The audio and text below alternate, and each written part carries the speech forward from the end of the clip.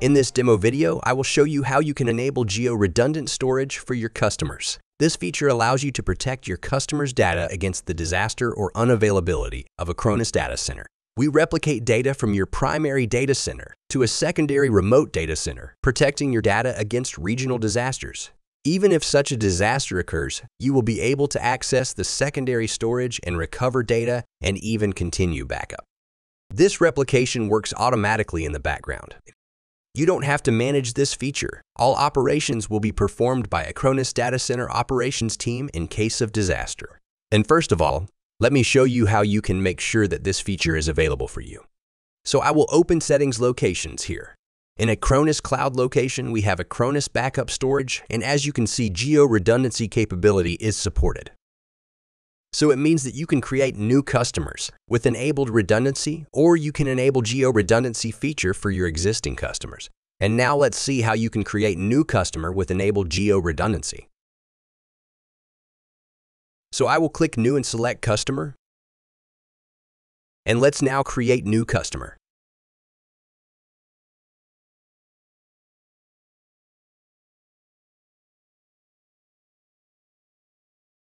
I will also create new administrator account.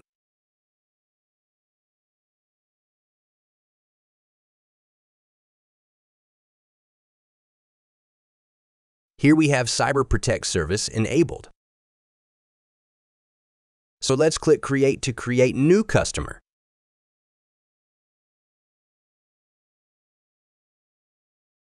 And then you will see a list of offering items enabled by default.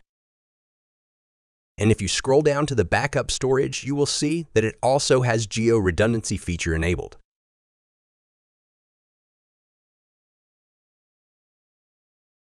So it means that for this customer, it's possible to enable geo replication. If you don't need it, then you can click Edit and disable this offering item.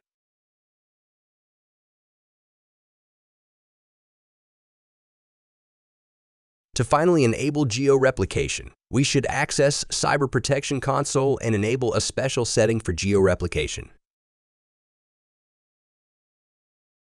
So I will do it, and I will click Manage Service.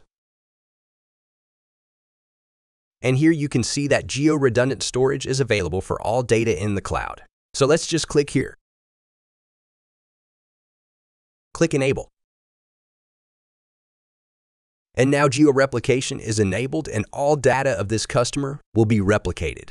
Acronis Geo Redundant Storage supports geo-replication of all supported workloads.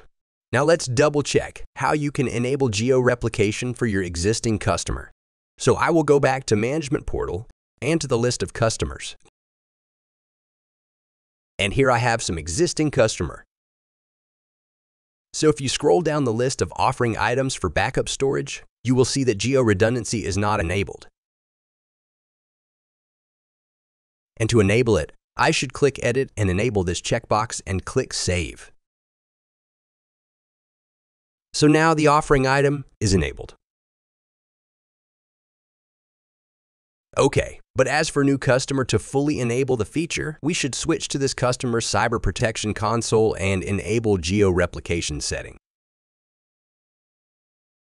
and I will do it by clicking Manage Service.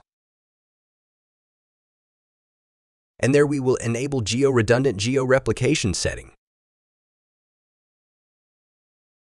So I will click here to enable geo-replication. So now for this customer, all backup data is being replicated. And now let me show you how you can check geo-replication status for individual backup archive. So I have also customer with device and backup, which was already configured with geo-replication.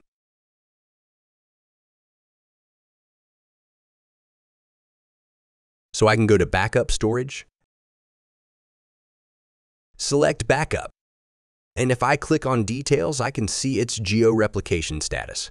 And here as you can see, it's in sync. So it means that replication of this backup archive is completed and backups are stored in two locations. Other possible statuses are available here, so just click this icon. And here you can see that we also have other statuses, for example, syncing. You will see it if you enable geo-replication for some existing customer. And of course, it will take some time to replicate all data. Thank you for watching this video, and I wish you good day.